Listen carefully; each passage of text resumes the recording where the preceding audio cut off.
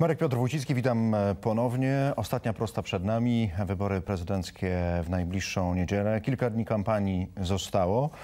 Jakie będą? Jaki był miniony weekend? E, Profesor doktor habilitowany Stanisław Mocek, rektor Kolegium Civitas. Witam. I doktor Jacek Kucharczyk, prezes Instytutu Spraw Publicznych. Witam Dzień również. dobry.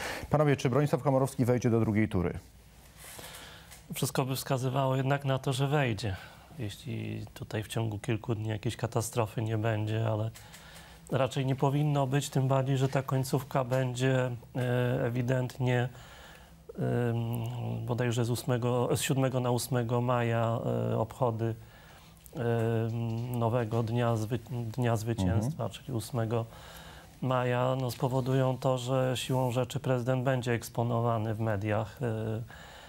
Więc to będzie ta To absolutna będzie- końcówka już kampanii e, przed Ja pytam dlatego, że e, spada poparcie prezydentowi. Oczywiście e, nie wiem, czy realne jest, żeby do tej drugiej